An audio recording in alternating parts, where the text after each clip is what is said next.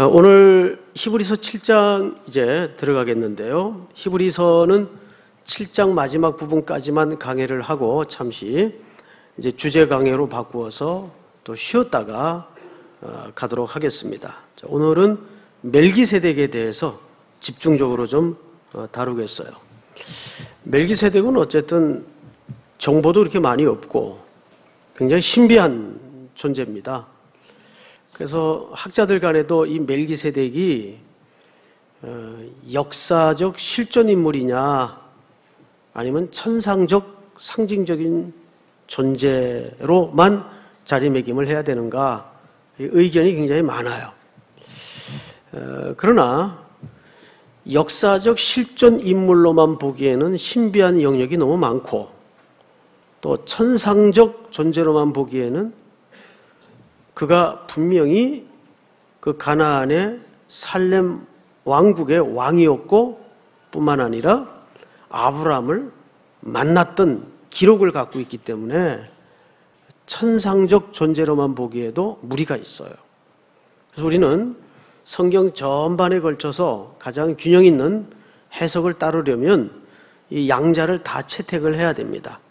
그러니까 역사적 실존 인물이지만 천상적 존재의 의미로도 자리매김을 함께 할 수 있다. 이렇게 봐야 어, 전체 해석에 무리가 가지 않을 겁니다. 어, 오늘 이 본문을 준비하면서 이런 생각을 해봤어요. 사실 명확히 답이 딱 떨어지지 않는 해석들이 성경에 너무 많아요. 어, 여러분 그 노아 홍수 때 하나님이 노아에게 방주를 짓게 하죠. 그때 치수를 얘기합니다. 정확하게. 그 치수가 혹시 단위가 뭔지 기억나십니까? 규빗이었어요, 규빗. 1규빗은 어디서부터 어디까지입니까? 이 팔꿈치에서 가운데 중앙 손가락 끝까지가 1규빗입니다. 이게 중요한 단위예요. 근데 이 문제가 있잖아요. 이제 저같이 에, 팔이 짧은 사람은 어, 이 규빗이 짧아요. 근데 또 우리 교회 뭐 이렇게 고석창 목사님이라든지 롱다리들이 있어요. 그분들은 팔도 길어요. 팔도. 그러면 규빗이 같을 수가 없잖아요. 다르단 말이에요. 단위는 달라지면 안 되잖아요. 근데 하나님이 이거 모르고 그렇게 설정을 했을까? 그래서 이런 걸 우리가 모호함이라 그래요. 모호함. 성경에는 일부러 모호함으로 묻어둔 내용들이 참 많습니다. 그게 하나님만이 아는 이유가 있겠죠. 그래서 오늘 이 해석에도 사실 얼핏 그런 모호함이 감춰져 있습니다. 그래서 우리가 그걸 전제로 하고 본문을 이해하는 게 겸손한 태도일 것 같습니다. 오히려 그 모호함 속에 하나님의 자유로움과 하나님의 풍성함을 감춘 경우가 많거든요. 자, 오늘 1절을 보십시다. 이 멜기세덱은 첫째 무슨 왕입니까? 살렘 왕이죠. 그리고 두 번째는 지극히 높으신 하나님의 제사장이라 여러 왕을 쳐서 죽이고 돌아오는 아브라함을 만나 복을 빈자라. 우리 이 배경이 되는 창세기 14장 28절, 18절인가요? 한번 띄워주세요. 네, 18절이네요. 같이 읽습니다. 시작. 살레망 멜기세덱이 떡과 포도주를 가지고 나왔으니 그는 지극히 높으신 하나님의 제사장이었더라. 네, 여기서도 이제 세 가지로 소개를 합니다. 살레망 떡과 포도주를 가지고 나왔고 지극히 높으신 하나님의 제사장이었다. 자, 이 정도로 구약 성경에 소개가 됩니다. 그 외에는 시편 110편에 한 번 소개가 돼요. 4절. 한번 띄워 주실까요? 읽습니다. 시작. 여호와는 맹세하고 변하지 아니하시리라 이르시기를 너는 멜기세덱의 서열을 따라 영원한 제사장이라 하셨도다. 그리스도의 모형이 되는 다윗에게 약속한 겁니다. 멜기세덱의 서열을 따라 무슨 제사장이라고 소개되어 있죠? 영원한 제사장이라 하셨도다. 동시에 멜기세덱도 그런 의미에선 영원한 제사장이라는 말이 됩니다. 자, 구약 전체를 통틀어서 멜기세덱을 언급한 데가 딱 두 군데예요. 그 외에는 없습니다. 그래서 멜기세덱에 대한 정보가 굉장히 인색합니다. 그래서 이분의 정체에 대해서 알 길이 없어 그 외에는 자 그러면 우리는 먼저 히브리 기자는 무엇 때문에 이 정보도 별로 없는 그리고 신비하기까지 한 멜기세덱에 대해서 그렇게 집착을 하게 된 걸까? 왜 이 글에 멜기세덱을 그렇게 집요하게 언급을 한 걸까? 그 이유를 먼저 아는 게 필요합니다. 서론 시간에 이런 설명 드린 거 기억하죠? 히브리 기자가 이 책을 쓸 때는 그 히브리서의 독자들의 목회적 정황이 있었다 그랬어요. 첫 번째 정황은 로마의 물리적인 압박 아래 지독한 고생을 하고 있었고 두 번째 정황은 본토 유대인으로부터 다시 율법주의와 유대주의로 회귀하라는 신앙적 공격이 맹렬하게 가해지고 있을 때입니다. 너희가 구주로 믿고 받아들였던 영접했던 그 그리스도라는 메시아는 메시아일 수가 없다. 어떻게 메시아라면 그렇게 무기력하게 십자가에서 죽을 수 있느냐? 메시아일 수 없다. 다시 율법주의로 유대주의로 복귀하라는 강력한 공격이 있었어요. 그런 목회적 정황을 염두에 둔 이 히브리 기자가 아, 이분들을 어떻게 하면 그리스도 안에 더 견고히 묶어둘 수 있을까를 고민하다가 이 그리스도와 유사한 성격으로 소개된 멜기세덱의 구약의 인물에 대해서 예정을 꺼내든 겁니다. 자, 그러면 좀 다른 예정은 없었을까? 왜 하필 멜기세덱일까? 그것도 정보도 별로 없는. 그런데 1세기 시대에 이 히브리 독자들이 살고 있던 때에 그 쿰난 공동체라고 있었어요. 어, 세례 요한도 그 이론으로 보죠. 동굴에서 최소한의 양식을 가지고 야생 생활을 하면서 철저하게 하나님의 말씀인 율법, 구약 성경을 연구하던 분들이에요. 그, 그런 공동체 생활이 있었습니다. 그걸 보통 우리가 쿰난 공동체라고 합니다. 그런데 이분들이 주야로 먹고 하는 일은 성경을 연구하는 일이다 보니까 이분들 연구를 하면서 특별히 이 멜기세덱이라는 정체에 대해서 굉장히 신비한 느낌을 가지고 있었어요. 도대체 아브라함에게 복을 빌고 아브라함에게 11조를 드린 이 대상인 멜기세덱은 어떤 존재일까? 그렇다고 여기저기 많은 정보가 있는 것도 아니고 그러다 보니까 오히려 이 멜기세덱이라는 존재에 대해서 많은 고대 학자들이 더 많은 연구를 하게 되었어요. 근데 그 문서가 쿰난 공동체가 살던 동굴 안에서 많이 발견이 됩니다. 그래서 오히려 가장 정보가 적은데 가장 자료가 많아요. 1세기 유대 문학이나 연구 자료에 보면. 그게 참 역설이죠. 그래서 유대인들이면 오히려 이 멜기세덱이라는 분의 신비함과 그 알듯 모를 듯한 정체감에 대해서 너무도 잘 알고 있는 겁니다. 정확히는 몰라도.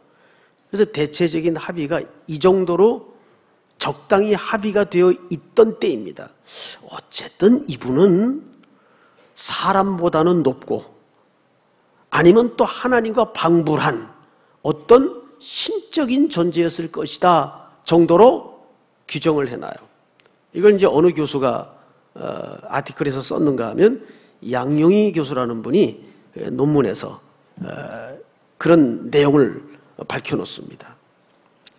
그러다 보니까 히브리 독자들이 자연히 이 쿰난 공동체의 자료에 근거하거나 또는 조상들로부터 익히 들어 들어 멜기세덱이라는 존재에 대해서는 다 알고 있어요. 그래서 히브리 기자가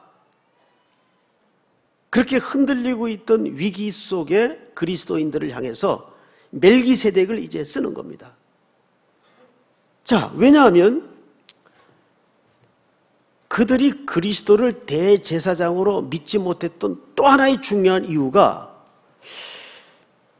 자기들이 성경을 통해서 또 보고 배우고 알고 있기로는 대제사장이든지 제사장이든지 반드시 아론의 혈통과 레위 지파에서 오도록 돼 있어요. 그리고 그 반차 서열이라고 보통 표현을 하죠. 서열을 따라서 대제사장 직분은 갖도록 되어 있습니다. 그런데 예수님은 레위 지파입니까? 아니면 다른 지파입니까? 예수님은 어디 지파예요? 유다 지파죠. 우리는 그냥 성경에 써니, 쓰니까 뭐 그러려니 하겠지만 그 시대를 살았던 사람들은 죽었다 깨어나도 이게 이해가 안 되는 거예요. 아니 어떻게 유다 지파에서 오신 분이 대제사장이라고 할 수 있는가? 그래서 히브리 기자가 이걸 어떻게 설명을 할까? 성령의 영감을 받아서 그렇다. 여러분, 레위 지파는 누구로부터 나죠? 그들의 국부격인 아브람으로부터 나요. 아브람의 허리에서 난다고요. 그런데 아브람은 누구에게 11조를 드렸어요? 멜기세덱에게 11조를 드렸어요. 아, 아브라함보다 높은 분을 예증을 들어야 되겠다. 그런데 이분이 하필 성경에 소개되기를 영원한 제사장, 하나님의 높으신 제사장이라는 수식어와 표현이 있다고요. 그런데 예수님이 어느 서열을 따라 제사장이 되었습니까? 레위 지파입니까?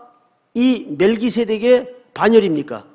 멜기세덱의 서열을 따라 제사장이 됐다고요. 그러면 자연적으로 어느 계열이 높아요? 멜기세덱의 서열이 높아요? 그들이 혈통적으로 지켜오던 레위 지파의 계열이 높아요? 당연히 멜기세덱의 계열이 높죠. 이제 그런 논리를 만들어내기 위해서 히브리 기자가 누구를 집중해 설명하는 겁니까? 멜기세덱을 집중해서 설명하는 거예요. 자, 그런 이해를 가지고 오늘 본문을 좀 보십시다.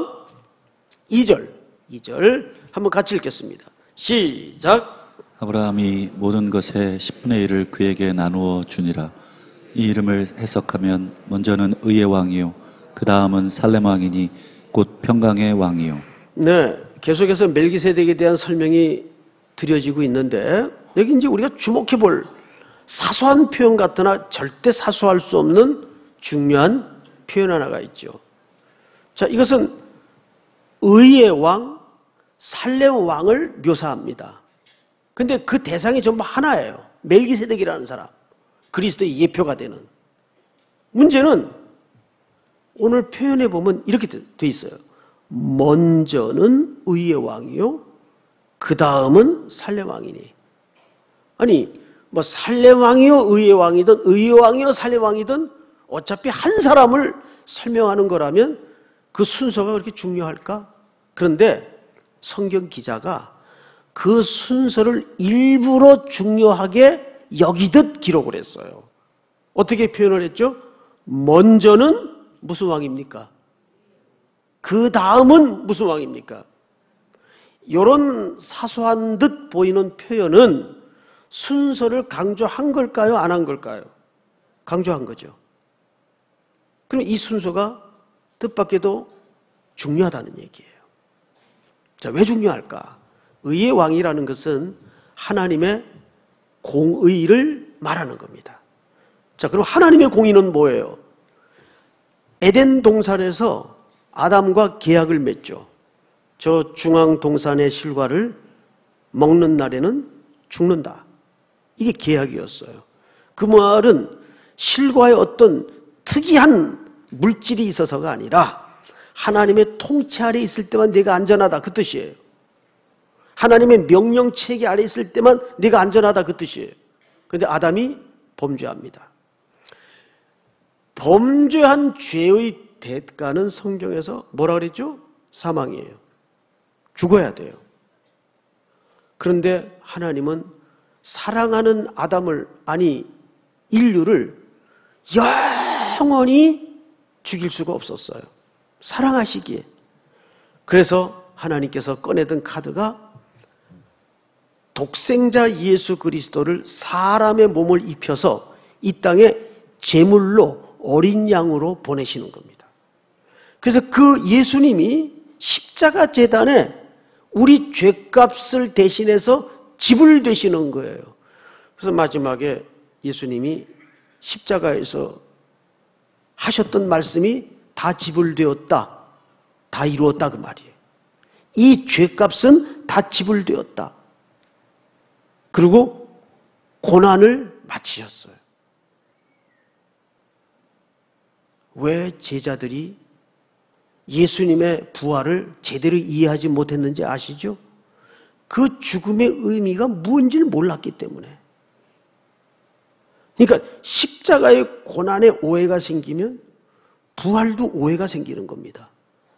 그래서 그 무기력했던 사람이 살아난들 부활이 내게 밥을 먹여주냐? 월급을 더 갖다 주냐? 이런 논리로 고향으로 떠나버리고 슬픈 기색으로 낙창을 하고 그런 일이 벌어진 거예요. 두려워 숨기도 하고. 근데 언제 눈이 열어지고 가슴이 뜨거워지죠? 말씀을 풀어줄 때.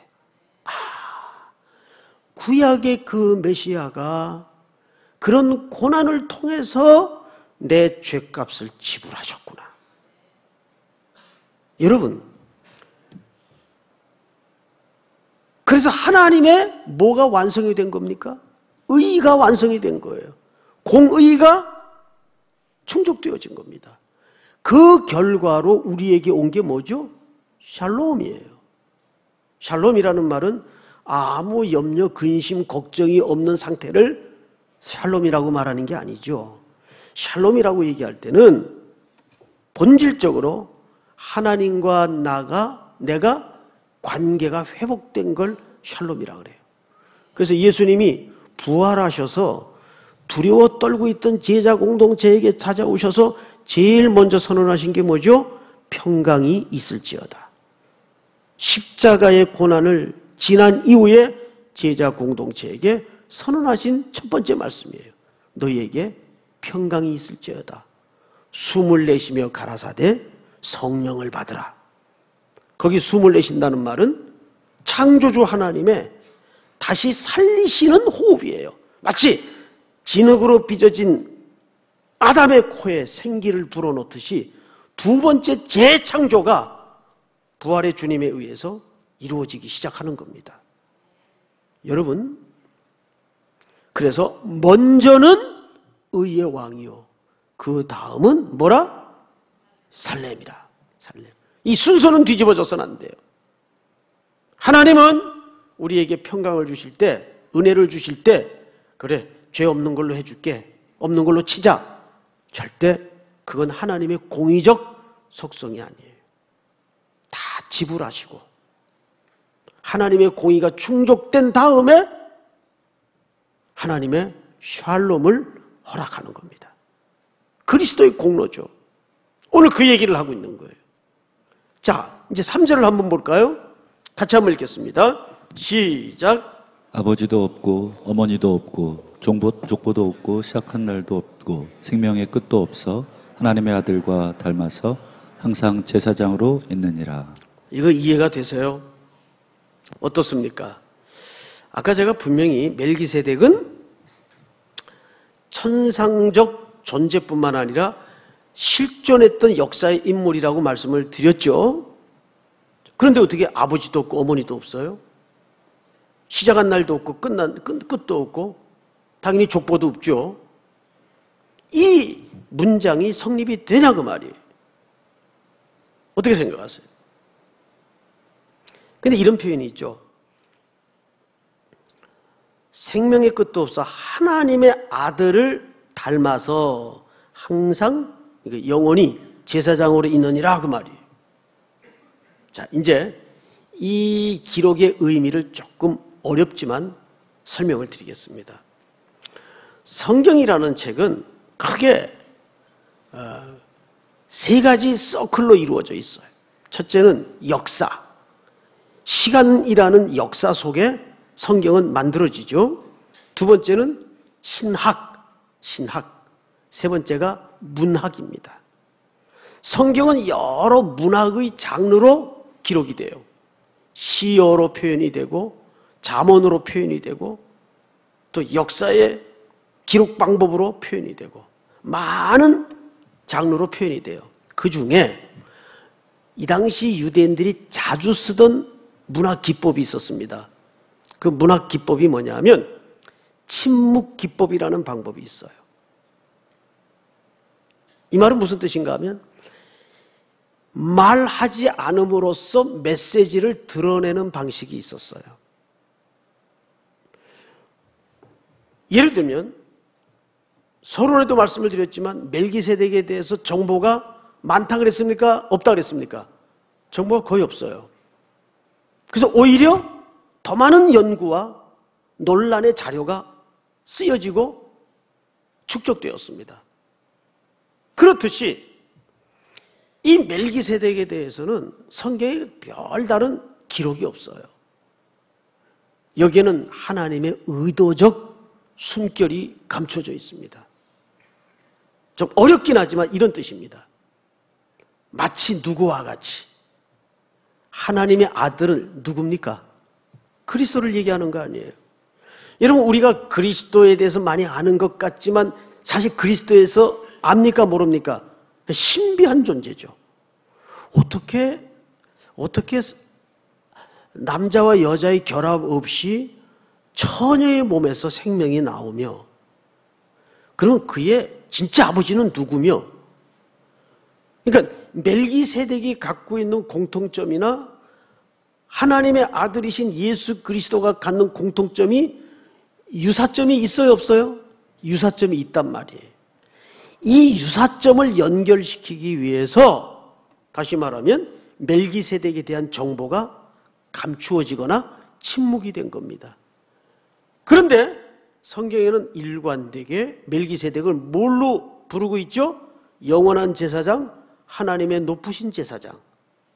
근데 그리스도가 어느 서열을 따라 오십니까? 이 멜기세덱의 서열을 따라 제사장이 되신다고요. 자, 그러면 이제 이런 결론을 우리가 내릴 수밖에 없어요. 아브라함이 높습니까? 멜기세덱이 높습니까? 멜기세덱이 높아요. 그러면 당연히 아브라함이 11조를 드릴 때 레위는 어디에 있었어요? 낳지도 않았을 때지만 생물학적으로 아브라함의 허리에 있었어요. 그러면 또 비교해 봅니다. 멜기세덱이 높습니까? 레위가 높습니까? 더더욱 멜기세덱이 높죠. 그러면 그 영원한 제사장인 멜기세덱의 서열을 따라 오신 그 실체이신 그리스도는 레위 지파와는 구분이 되면서 동시에 제사장이면서 동시에 누구보다 높아요? 레위 지파보다 높고 아브람보다 높다 그 말이에요. 이거를 분리시키는 거예요. 이 분리시켜야 되는 이유는 유대인들이 가졌던 의문점 때문입니다. 어떻게 레위 지파가 아닌데 제사장이 될 수 있는가? 이게 유대인들이 그리스도 안에서 흔들리던 매우 중요한 가치였기 때문입니다. 결국 문제는 뭐냐면 자 마지막 구절에 이렇게 돼 있어요. 또한 10분의 1을 받는 레위도 아브람으로 말미암아 10분의 1을 바쳤다고 할 수 있나니 자 앞을 보실까요? 아브람이 멜기세덱에게 10분의 1을 드릴 때 누구도 바쳤다는 겁니까? 레위도 근데 그때 레위는 안 태어났을 때거든요. 어디에 있었어요? 생물학적으로? 아브라함의 허리에 있었어요. 그런데 바쳤대요. 이게 이제 유명한 우리 기독교의 가장 중요한 핵심 교리가 생성되는 대표성의 원리입니다. 우리가 아담이 죄 지은 거하고 내 죄하고 무슨 상관이 있어요? 아니요. 아담이 범죄할 때 생물학적으로 우리는 이미 그 안에 있었어요. 그래서 그때 같이 범죄를 한 거라고요. 이게 대표성의 원리예요. 동시에 따라서 우리가 아담 안에서 죽었지만 둘째 아담이신 그리스도 안에 우리를 묶으셨어요. 이 땅의 모든 죄를 십자가에서 소멸시키시고 죄값을 지불하시고 새로운 생명, 부활의 생명으로 살아나셔서 그분이 부활하실 때 어떻게 부활하셨죠? 첫 열매로.